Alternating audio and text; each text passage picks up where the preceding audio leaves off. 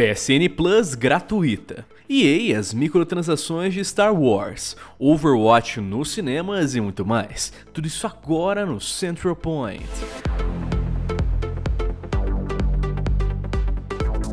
Sonistas de plantão, fiquem sabendo que aqueles que não têm disponível terão uma nova chance de testar a PSN Plus gratuitamente. Entre as 7 horas do horário de Brasília, da próxima quarta-feira, no dia 15, até as 7 horas da manhã de segunda, dia 20, o serviço estará disponível para ser jogado qualquer jogo online e sem ter que pagar absolutamente nada por isso. Porém, é bom lembrar que este período só irá dar acesso ao multiplayer online dos games, deixando de lado os títulos oferecidos pelo sistema ou os descontos do assinante.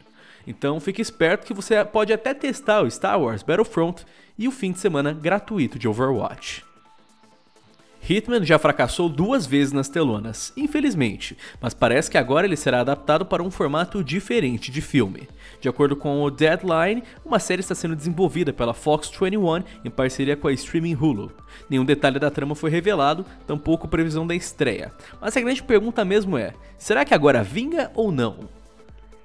The Witcher já passou por muitas mudanças desde seu início em 2007 até o último título em 2015, desde jogabilidade até o visual.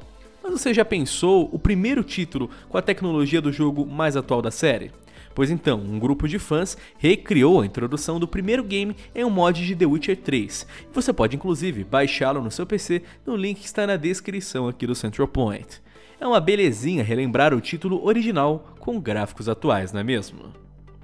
Já falamos ontem mesmo sobre essa tal polêmica do Pay to Win em Star Wars Battlefront 2, e já foi feito alguns relatos de que alguns personagens clássicos como Darth Vader e Luke Skywalker exigem muito tempo de jogo para serem desbloqueados com créditos do game, ou aquele dinheirinho bacana por meio de microtransações. Com as muitas reclamações, a EA respondeu que o preço sugerido seria para gerar um sentimento de conquista e orgulho de tal. Mas, como devem saber, essa resposta foi um verdadeiro tiro no pé. Mas olha só que legal, algumas horas depois deste comunicado, a EA respondeu que estará mudando os valores dos personagens a partir de hoje, baixando-os em até 75%. Ainda tá caro, mas já é alguma coisa. A Band publicou em seu blog oficial que uma das prioridades para Destiny 2 atualmente é o sistema de clãs e as suas opções de comunicação. De acordo com a desenvolvedora, um sistema de chat para a torre e zonas específicas do mapa também é uma alternativa a ser estudada. Outra coisa é que a empresa também está tentando incorporar uma roda de emotes para facilitar aquela conversa casual e gestual entre os players.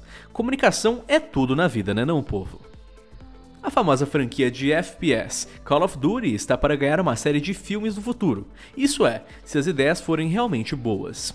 De acordo com Tim Kimpley, diretor da divisão de produtos da Activision, essa seria uma ótima forma de ampliar o público da franquia. Porém, se a ideia for medíocre, o filme não sairá. A razão seria que a série tem uma história e legado, e para expandir para além da barreira dos jogos, é necessário ter muito cuidado. Hum, o histórico de filmes de games não é lá muito animador, mas seria Call of Duty capaz de mudar tudo isso?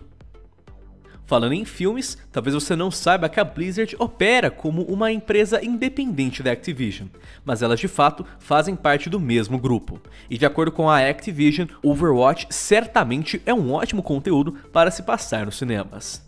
Tim Kilpin, o mesmo que mencionou sobre os filmes de Call of Duty, adoraria apostar em uma adaptação do jogo. Também trata-se de uma maneira muito cativante para aproximar o público diversos, até porque a história do Overwatch é extensa e poderia render muito conteúdo. Claro que seria um pouco arriscado, mas uma boa história é inegável que o jogo de fato tem. E aí, acha que funcionaria um filme do jogo? Comenta embaixo o que você acha.